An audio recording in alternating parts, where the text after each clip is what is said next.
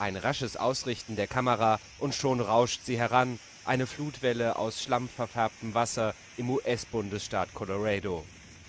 In den vergangenen Tagen hatten heftige Regenfälle die Pegel der Wasserläufe anschwellen lassen.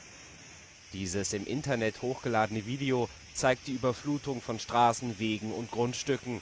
Lokalen Medienberichten zufolge wurden in der Nähe von Woodland Park und Durango mehrere Schnellstraßen geschlossen